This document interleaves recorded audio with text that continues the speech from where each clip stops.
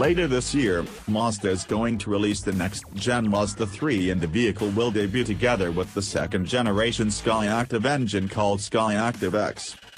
Unlike how it was with the original Skyactiv technology, the next-gen engine will come with compression technology and this will significantly boost both power and fuel economy.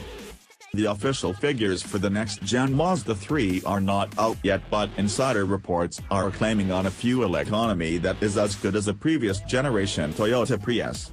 For a compact car that relies solely on ICE, this is considered as an amazing achievement from Mazda. But for the Japanese car maker, they are not celebrating just yet because they have a bigger goal ahead. It is with a third-gen Skyactiv system that is now being dubbed as Skyactiv 3.